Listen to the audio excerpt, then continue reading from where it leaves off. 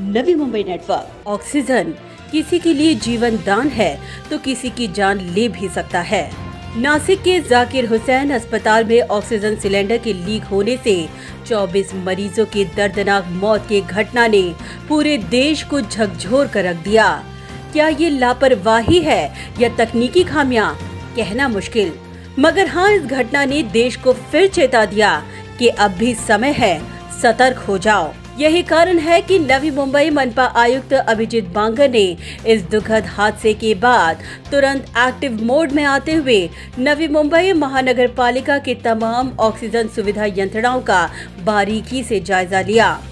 बता दें कि नवी मुंबई के बड़े कोविड केयर सेंटर्स जैसे सिडको प्रदर्शनी केंद्र, मनपा covid care centre Radha Swami आश्रम और एक्सपोर्ट हाउस में ड्यूरा सिलेंडर्स के माध्यम से ऑक्सीजन की आपूर्ति की जाती है।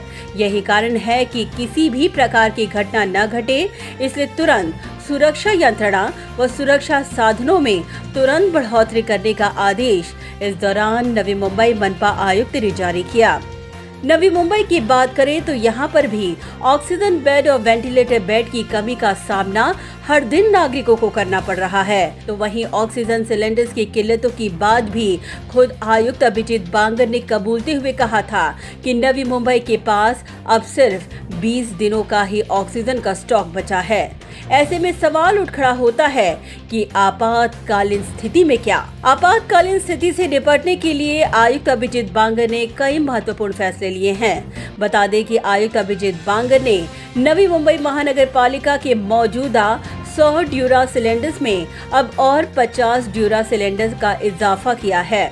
सिडको प्रदर्शनी केंद्र में मनपा जल्द ही 75 आईसीयू बेड और 30 वेंटिलेटर बेड शुरू करने जा रही है और आने वाले समय में ऑक्सीजन की मांग को देखते हुए आयुक्त अभिजीत बांगर ने ड्यूरा सिलेंडरों की संख्या में और वृद्धि करने का आदेश भी जारी किया है। संग्रहित सिलेंडर में तरल यानी कि लिक्विड ऑक्सीजन दिन ब दिन कम होता जाता है और इसीलिए आयुक्त ने ऐसे सिलेंडर को स्टोर करते समय समय पर उसके योग्य नियोजन और सिलेंडर्स की अवधि पर अधिक ध्यान देने का निर्देश अधिकारियों को दिया। इन लिक्विड सिलेंडर्स को अधिक समय तक स्टोर रखने के लिए अत्यधिक ठंडा पानी पड़ता रहे और इसके लिए सभी जगह पर चिलिंग सिस्टम बैठाने की महत्वपूर्ण सूचना भी आयुक्त अभिजीत बांगर ने दी।